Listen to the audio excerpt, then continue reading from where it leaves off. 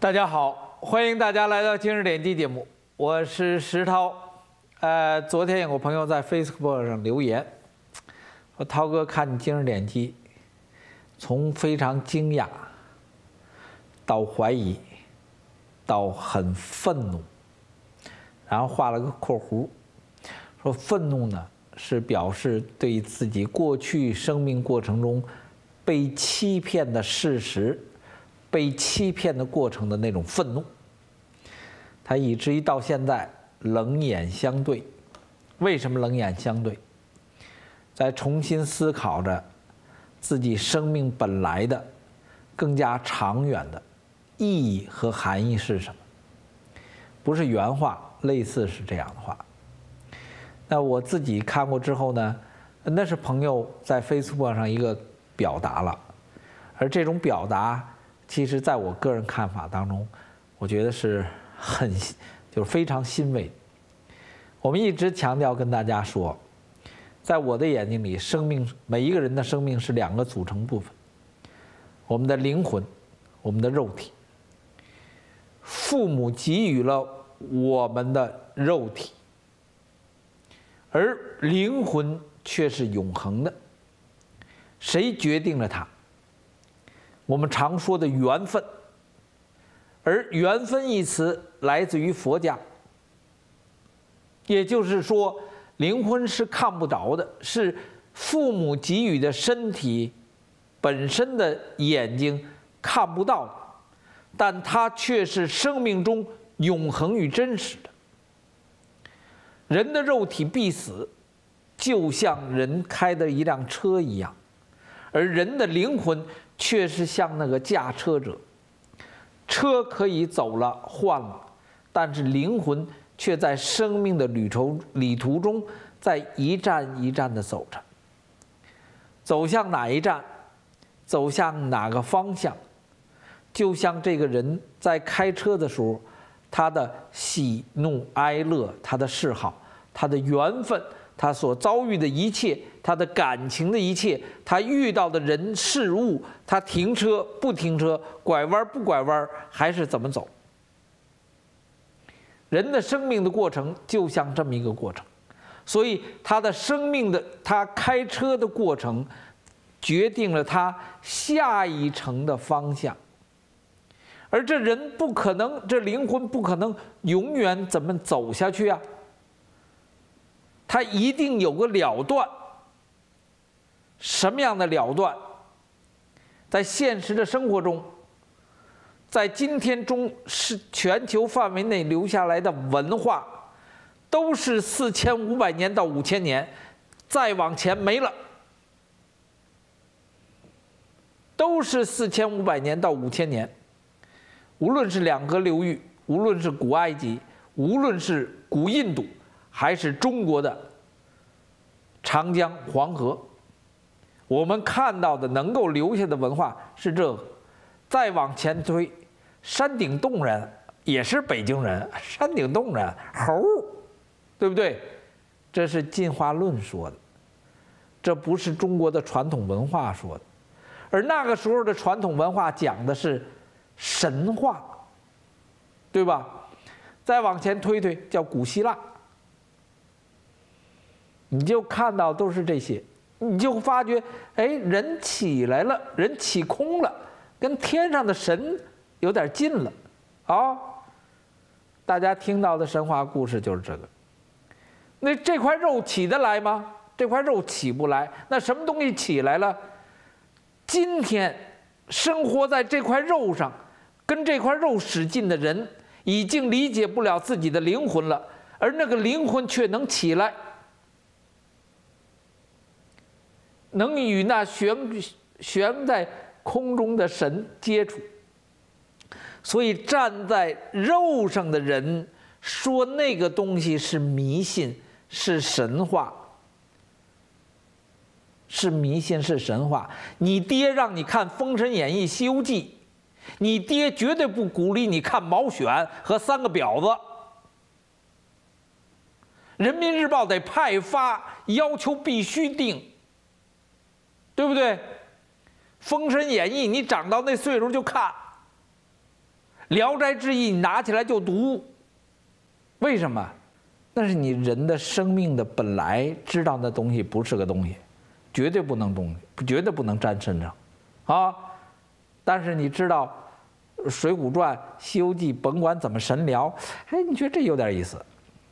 我说你别信他，那都是迷信，拿着又看了。哎，你别信他，那都是迷信，你拿着又看了，对不对？你不你怎么不看那科学发展观呢？什么叫科学发展观啊？对不对？科学都没搞明白，还发展观？你怎么观呢？这就是共产党体制之下骗人的东西。所以我跟大家讲，那个朋友说的那段话，我觉得是有道理的。考虑生命的永远，这块肉会死的，那生命的永远是什么？是灵魂。那被谁扼杀了中国人这东西呢？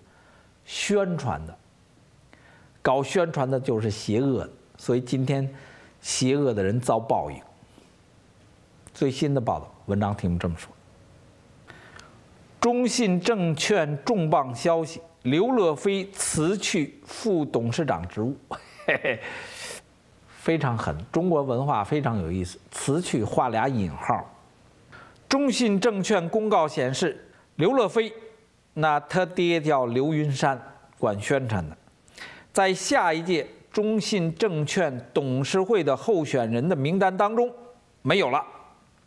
消息称，刘乐飞是主动请辞副董事长的职务的。不过有媒体披露，叫被辞职。甭管被的还是主动的，我跟你讲，问题不大。问什么叫问题不大？在这看节儿上，在谣言四起说刘乐飞。已经被限制出境，谣言四起，说刘云山今天一而再、再而三的在检讨自己的毛病的时候，在下一届中信证券的董事会的名单当中，咔嚓没他了，这就是问题了啊啊！这就是问题了。所以我一直跟大家说，想想周永康是怎么死的，儿子先是儿子哈，想想这个郭伯雄。郭伯雄呢？那更损，把儿子先往上提一把，然后再摔一把。给刘乐飞开会的人说：“你写个辞职吧，啊，给你个面子。现在给你面子，你主动辞职好啊，对不对？”刘乐飞到那份上，对对，主动的。我跟你说，谁到那份上都那样，这就是共产党的厉害。你比你看他整别人的时候也这套，周永康整别人的时候一整一个准儿，对不对？然后他自己被整的时候也一整一个准儿。共产党死在共产党的自己的整个制度下，他不玩死他，对不起他。另外一个消息，呃，自由亚洲电台的，军方要求军官不得对军改乱发议论，一手是金融，一手是军队，所以金融我说开膛破腹，那军队呢？他不是开膛破腹，他拿气碾子，整个把原来都给碾了，一点渣儿都没留。文章提到说，军队报纸最近发表了一系列评论，警告说军队在改革上存在反对意见，并有对大批军人失业的担忧。那负责意识形态和保证军队，呃忠诚的总政治部七号在《解放军报》头版发表评论说。中国军改的成功与失败，取决于军队领导干部是否站在前面引导改革，并树立良好的榜样。我早跟大家说过，军改真正被打的是中将、上将，少将一部分，校级军官没资格，对不对？所以有抵触情绪是谁，也是你高级军官。哎，其实是这意思。对不对？那文章他采访了一个人，是美国民间智库传统基金会的程斌。他说：“首先，我们不完全清楚军改的详细内容，根本没有呢。”他说：“据说十二月中旬才会有这东西，而军队呢，从军区呢从七个减成五个、四个。”他说：“我真正感兴趣的是中军队改革是否会设立太空部队，或者是否设立网络攻击部队。我觉得这就是根本就没冒着边儿。在我认为眼睛里，这还还就事论事呢，根本军改不是就事论事，军改就是杀当官的，其他都是假的。英国的《金融时报》提到说，军改的真正目的是要更加的向美式军队靠拢，这将意味着数以万计的军官被迫提前退休，文工团、司机等等这些辅助的机关都将被撤掉，那那就是这么回事了。所以真正打的是那个，他军队改制打的是官，不是兵。ISIS 成为了。世界反恐当中的今天，大家所有瞩目的结果，ISIS 在昨天、前天，竟然在网上推出了一个宣传歌，是中文的。太阳报这么讲的，说 ISIS 推出中文歌，招募疆独。他讲 ISIS 日前将中国大陆和台湾列为袭击目标，前日更发动了宣传攻势，首次发布了普通话的圣战歌。相信是企图吸引更多的能讲华语的，呃，而对他们崇拜的这些人。嗯，我个人觉得这都不好评论了。你说怎么评论？人家来了，他真来了，他目标就是这个：杀掉别人，使得自己能够成功。那杀掉别人，使得自己成功，怎么听着都像共产党，怎么听着都是共产党，对不对？共产党道理也很简单，不光杀别人，还杀自个儿。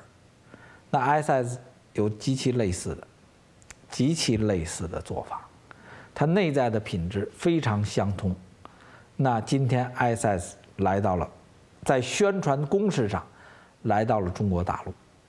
那洗脑宣传的鼻祖就是共产党啊。那今天我不知道如何应对这样的场面。